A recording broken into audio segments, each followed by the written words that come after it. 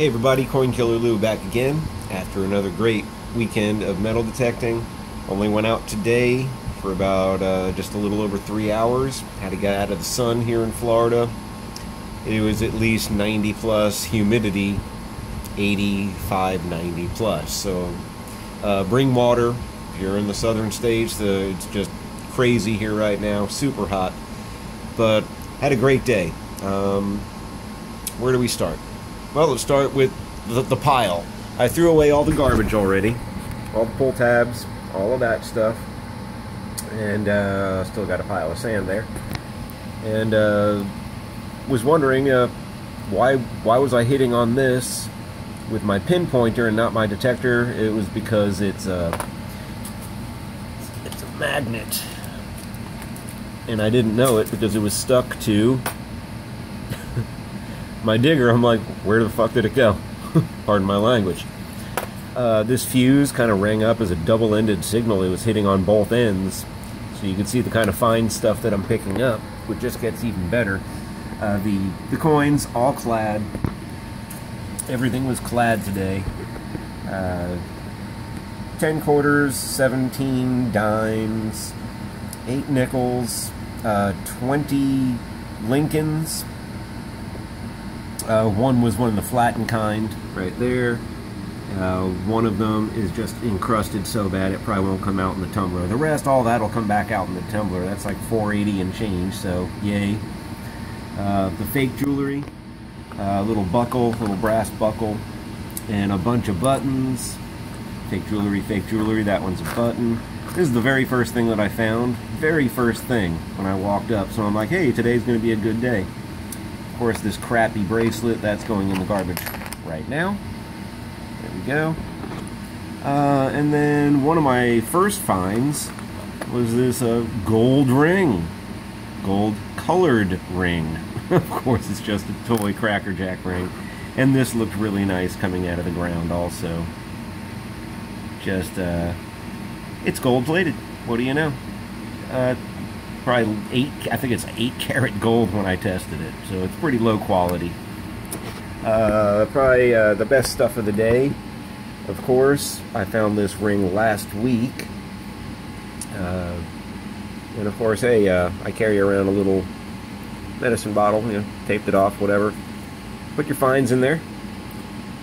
But the first find, I didn't have this on video, uh, but this was really neat. This rang up really, really low. And I thought I was a piece of foil because everything that in that number range on the Fisher F75. I pulled it out of the ground and I'm like, okay, gold foil. Started cleaning it off some more and a little bit of research. Uh, it's a turquoise shell lady's earring.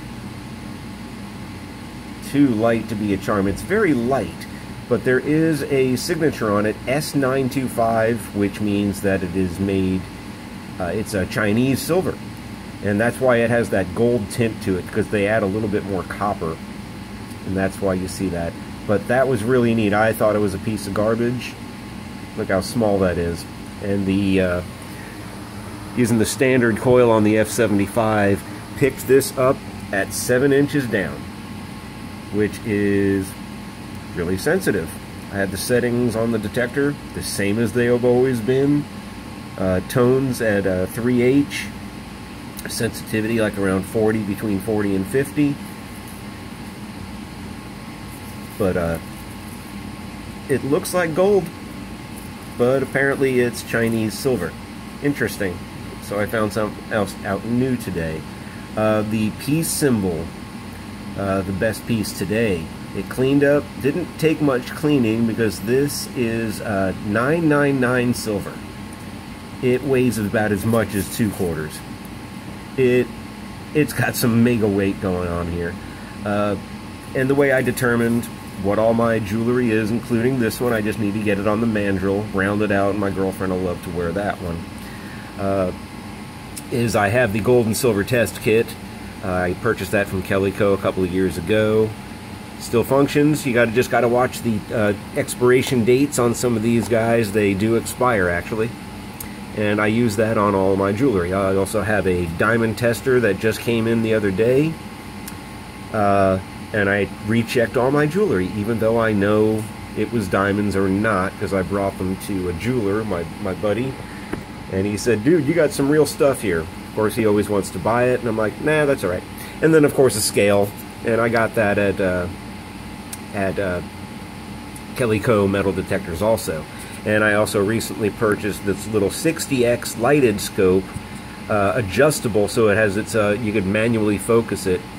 Uh, and that's just kind of the stuff that I've been using to test everything and of course uh, then all of the digging tools I kind of redid my digging tool apparatus now I carry uh, of course the Lesche digger. Been using that for uh, several months. Got the White's TRX pinpointer. Love that thing to death.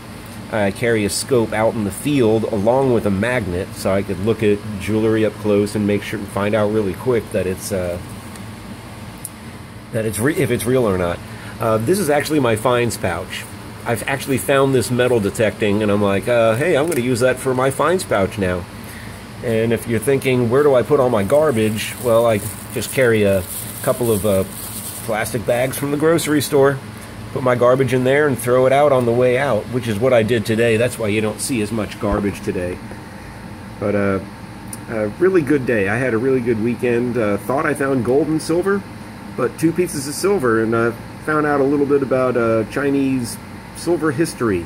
Oh, by the way, if it says S925, it's from China. If it says 925S, it's from Scandinavia. Uh, just another tip, and we'll see on the next dig. This is Coin Killer Lou saying, Peace.